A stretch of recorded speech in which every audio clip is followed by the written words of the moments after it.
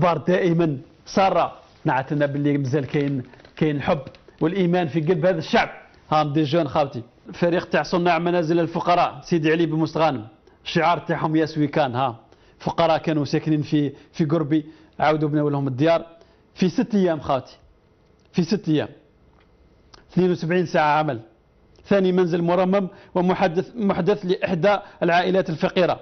أم أرملة وأطفال يتامى احترق منزلهم ليزيد من معاناتهم بهذه الحياة.